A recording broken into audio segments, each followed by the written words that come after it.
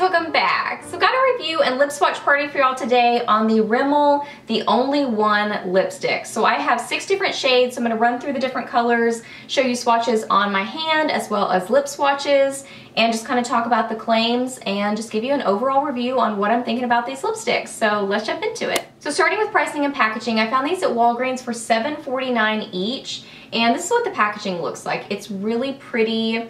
It's very kind of like sleek looking has sort of a unique kind of a shape to it. I would say possibly not ideal for storing, like if you're stacking them or anything like that because they're kind of that like funky sort of a shape. But, you know, I think they're really aesthetically pretty to look at. You do have a little like swatch of the color on the bottom, which is really nice. So you can quickly see which color you're grabbing. These do have that kind of like flat sort of a shape to them.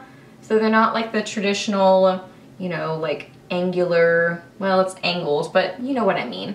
It's more of a flat, flat but angled lipstick bullet shape versus a traditional lipstick bullet shape. So that's what it looks like. Pricing and packaging, that's the info.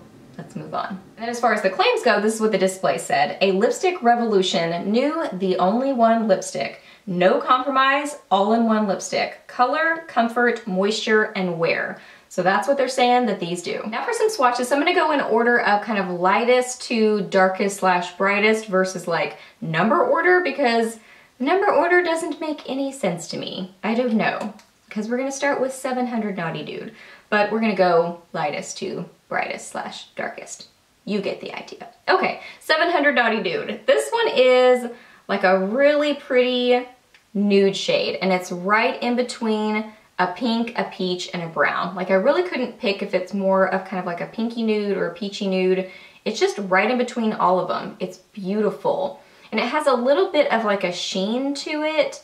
These are not flat matte. These are not matte lipsticks. These are kind of like a shiny, glossy sort of a lip product.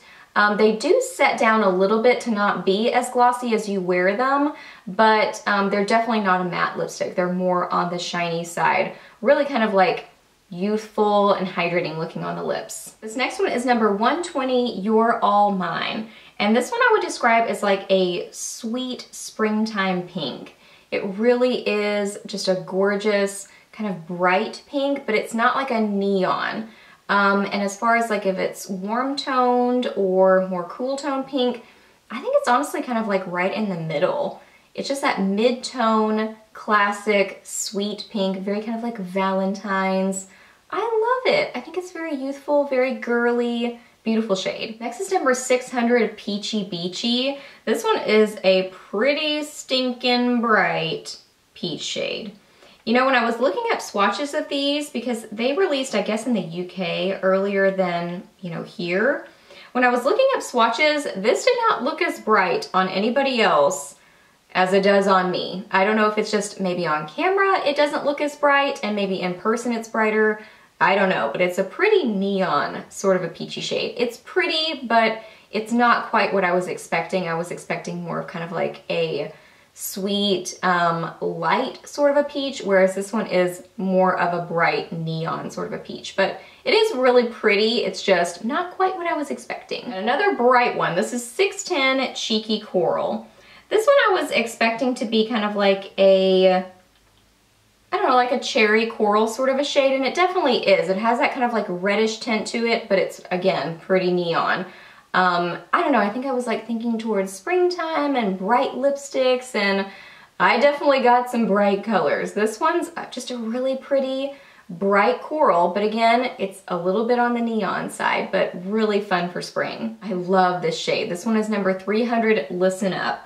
This is a gorgeous, like pinky, but bright fuchsia sort of a shade. It's very kind of berry tone too has some red in it, but it's just more on the like, I don't know, like a bright wine berry color. I love it.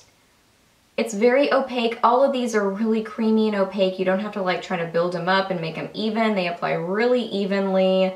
And that's just another gorgeous shade. You guys know I love these sort of like fuchsia berry colors. And then lastly, this is 510 Best of the Best. This is just a gorgeous classic red shade and it's kind of that like mid-tone red. It's not super orangey, but it's not super cool toned either. It's just right in between classic red. And again, it's really opaque. It applies really evenly. It looks really nice on the lips. It's comfortable. If you're looking for a good red lipstick, I think this one is a great option. It just looks very hydrating on the lips too. It doesn't look drying.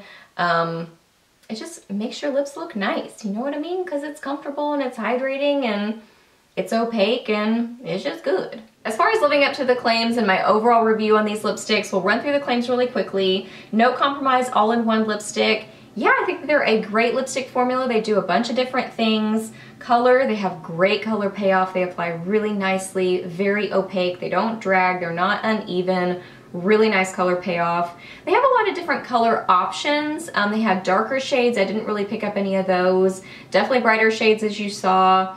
Um, I wish they had more neutral sort of colors. You know, I got Naughty Nude, and then they have um, one other one that's kind of like a frosty sort of shade, but I would love to see more neutral tones in the line, but I still think they have great um, color options and just, they, they apply really nicely. They're very even really opaque, great color payoff. And then comfort and moisture, they are very comfortable and very hydrating on the lips. I think that they feel really nice. They're not drying. They don't drag when you apply them. Um, I do notice that they kind of like set as you wear them a little bit longer. So they feel super hydrating at the beginning when you first apply them. And then they sort of like dry down a little bit, but then they don't feel drying to me. They're just not quite as hydrating feeling as when you first apply them. But that also then helps the next claim, which is wear. The wear time on these is really impressive. That's really what shocked me about these is that for how comfortable they feel on the lips, they really do stick around for a good amount of time. Like I've worn these for upwards of like six hours and they are still looking nice and staying strong on the lips. So I'm super impressed with the wear time on these. It's really good. And especially for how hydrating they are, like that's kind of hard to find. Sometimes you find either comfort or longevity. Kind of hard to find the balance between the two, and these lipsticks definitely have that. So my overall review on these lipsticks is that I really do love them. One other thing I want to note about them is that they have a very kind of strong, sweet scent. I don't know how to describe it, but kind of smells like some of the other Rimmel lipsticks, but it's more on the like candy, sweet, fruity side versus like perfumey. I don't like perfumey. I'm okay with a candy sort of a scent. Vanilla is my favorite, but this isn't bad. But that's one other thing I wanted to know. But yeah, I really love these. I think they're awesome. I think they're really nice. I would love it if the price point was a little bit lower. That's one thing I would change about them. But I think they're a great formula Great color options, just a really nice lipstick. All right guys, so that wraps up this review and lip swatch video. So I hope that you really enjoyed it and I hope it was helpful for you. Please give it a thumbs up if it was. Let me know down below what you are thinking about these lipsticks. What are some of your favorite shades? Ask me any questions that you have. I'm happy to answer those. Please subscribe to my channel if you're not already and I'll see you in my next video.